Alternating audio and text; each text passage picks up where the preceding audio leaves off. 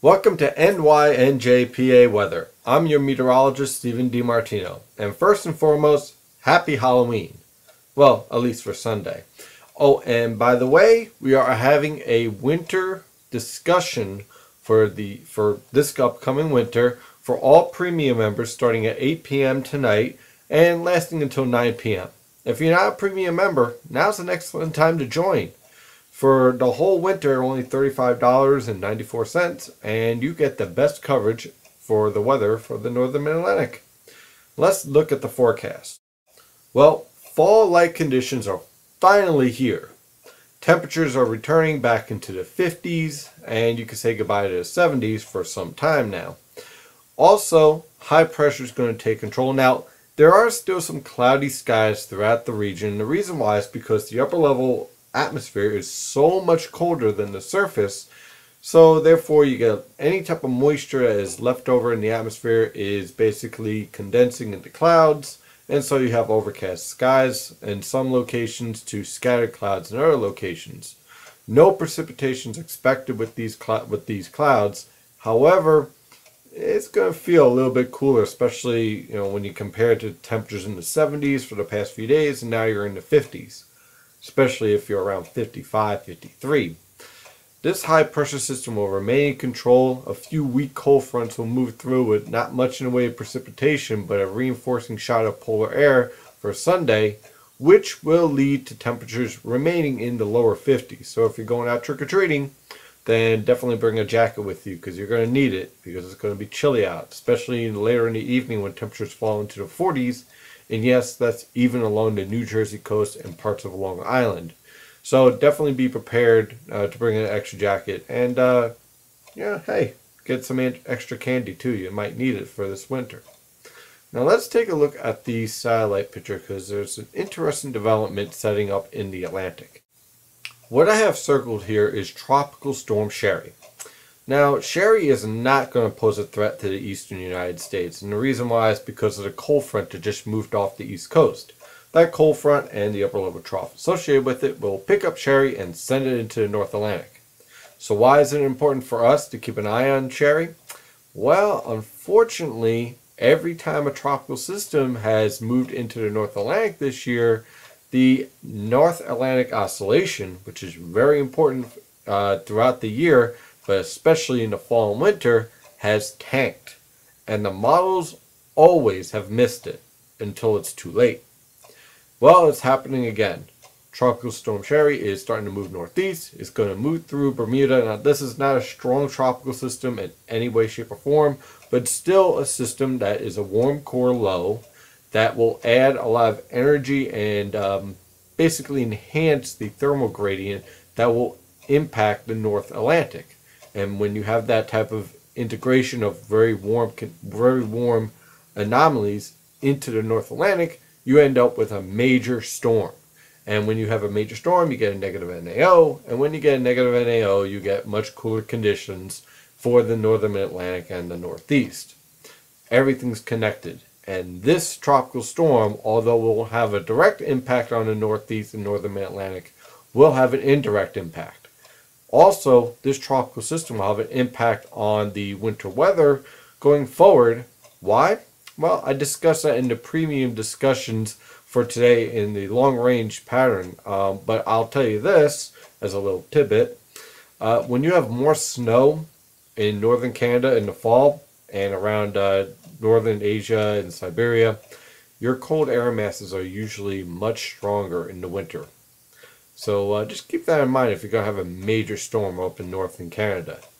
This storm is also going to have an impact on a storm later on this week, next week that could actually bring some snow to parts of Pennsylvania. Let's take a look at this storm. This is the 500 millibar pattern of the European model guidance from Penn State E-WALL. An excellent website to visit to get all your latest model data. It's an excellent website. Now, notice a few interesting aspects here. The model guides are starting to pick up on a slower pattern. Why?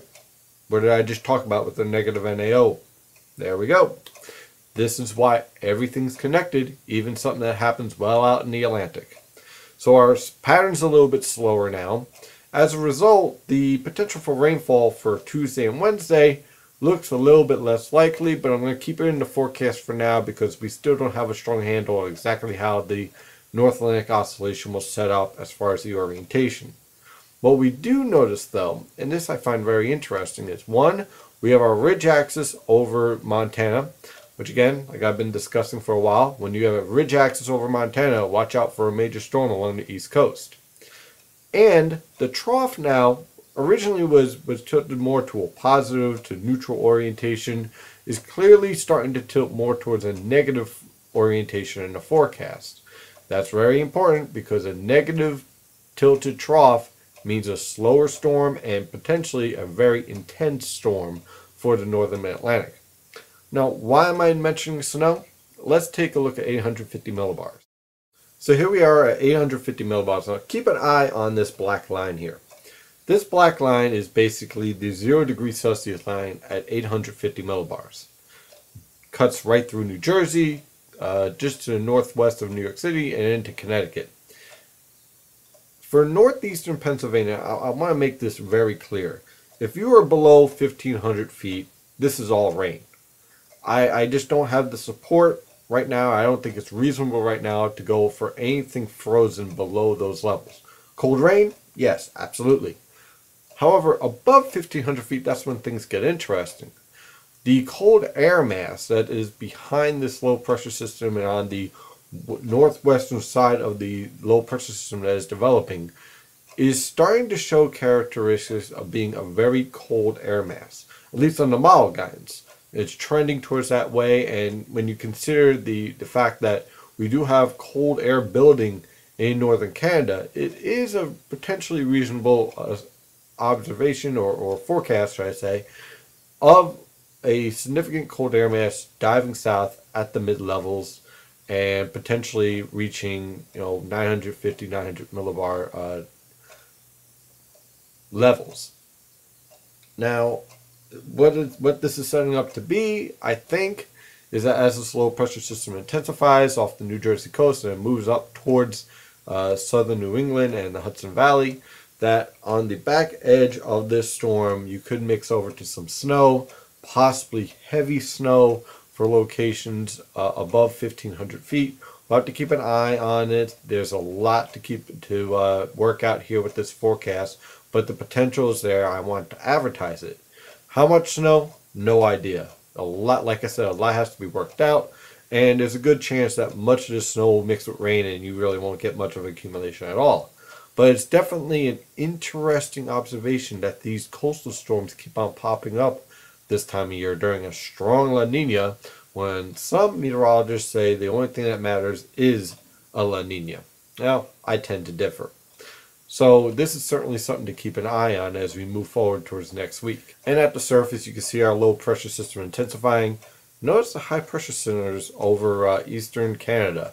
That's a very interesting position. And there's also some cold air damming starting to develop in some of the Malgans as well. So uh, it looks like we're definitely looking for a very interesting and strong coastal storm for next week, likely sometime between Thursday afternoon into Friday.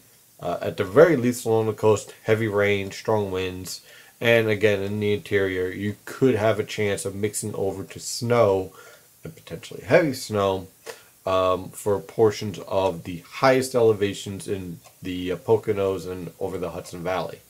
Well, that's the forecast for this weekend. Halloween looks great, so get out in there and enjoy it. Just bring an extra jacket with you. And I'll keep an eye on this major storm and see if there's any changes in the model guys. Should be pretty interesting. I'm meteorologist Stephen DiMartino. Thank you for trusting in NYNJPA Weather for your weather source for the Northern Mid-Atlantic.